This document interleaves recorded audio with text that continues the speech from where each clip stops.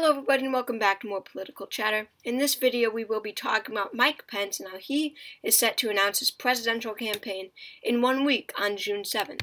So on June 7th it was announced um, a few days ago, maybe a week or two ago, that CNN will be holding a town hall with Mike Pence similar to the town hall they held with Donald Trump.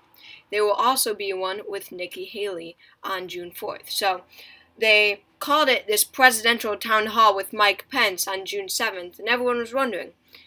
It's a presidential town hall, and Mike Pence is not a candidate. I mean, they're doing one with Nikki Haley. They did one with Donald Trump. Those two are both candidates already in this race. So there was a speculation that Mike Pence would announce his candidacy before um, that June 7th deadline, and it will be before the town hall, just a few hours earlier. He will um, launch with an announcement video and then a speech in Des Moines, Iowa. Um, that is what they told NBC, and then um, later CNN and Fox News. So that is happening. There will be a Mike Pence rally in Des Moines. Go out if you want, if you're supporting him and you live in the area. And he um, will announce his campaign there. And then, you know, I guess get things started with that presidential town hall on June 7th. Um, looking at the primary right now, we have seven candidates already in the race. Ron DeSantis, Larry Elder, Nikki Haley, Asa Hutchinson. Eh, I don't need to go through them. You get the idea. And three more are about to jump in. Mike Pence. And looking at Mike Pence polling numbers, um, here, let's look up here, I guess. He has for the first time, I think, like since February, Mike Pence has fallen into fourth place behind Nikki Haley. He was always ahead. Well, not always, but um, for most of the race, he has been ahead of Nikki Haley, and, and he has just fallen to 3.8%. Nikki Haley received a bit of a boost after she announced her candidacy, maybe something similar will happen to Pence. Maybe he could get up to six, seven points like Nikki Haley was able to do.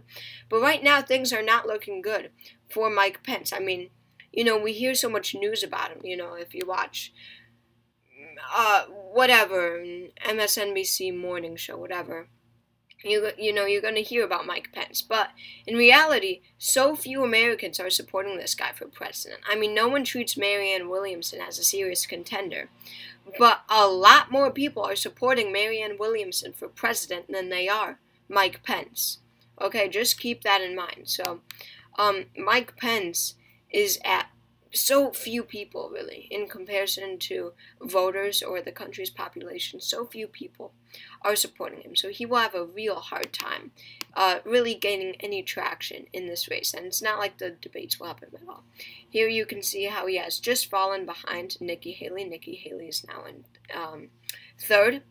Mike Pence is only at 3.8% of the party. That is just so so little. And I don't, and looking at these candidates, he is so so similar when it comes to um, how he leads. You know what kind of campaign he's going to run.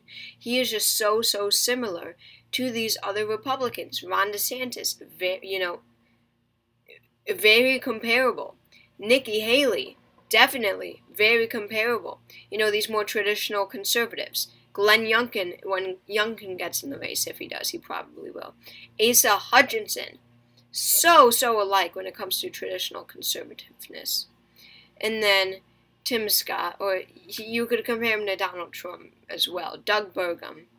So, um, Mike Pence is about to get in. I just wanted to share this with you all. And I don't really have much hope for him. Um, at the end of the day, I looking at his numbers, he doesn't have much of a shot. I mean, um, if these candidates wanted any shot at beating Trump, they would be endorsing Ron DeSantis. But shows you uh, how the political system is just, how our politicians are just in it for themselves.